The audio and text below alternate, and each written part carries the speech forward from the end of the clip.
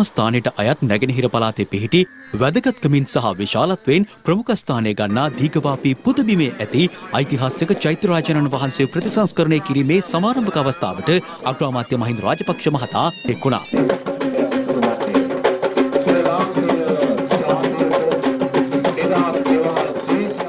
ප්‍රථමයෙන් ආගමික වතාවත්වල නිරත වූ අග්‍රාමාත්‍යවරයා ඉන් අනතුරුව පිරිත් සජ්ජායනා මධ්‍යේ චෛත්‍ය රාජනන් වහන්සේ ප්‍රතිසංස්කරණය කිරීමේ සමාරම්භය වෙනුවෙන් මුල්ගල් තබනු ලැබුවා. සිවිල් ආරක්ෂක දෙපාර්තමේන්තුව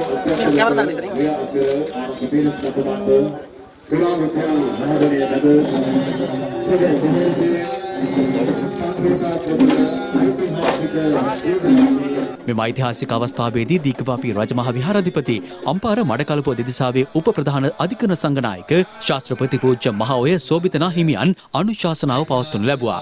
මෙම පූජා භූමිය අලංකාරවත් කිරීම සඳහා පැල් සිටුවීමේ ව්‍යාපෘතියක්ද ක්‍රියාත්මකයි. එය සමාරම්භ කරමින් අග්‍රාමාත්‍යවරයා නාපැලයක් රෝපණය කරනු ලැබුවා. ඓතිහාසික දීකවාපී පුදබිමේ නාපැල රෝපණය කරන මොහොතයි දැන් පුදුවන්නේ.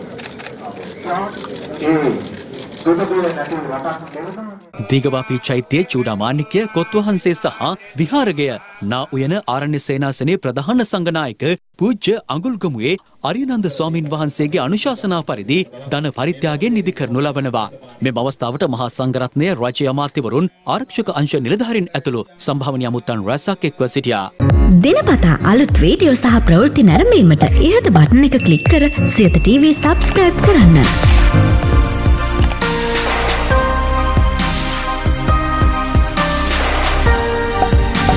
වීඩියෝ ගැන මුලින්ම දැනගන්න මෙම සීනුව කලික් කරන්න.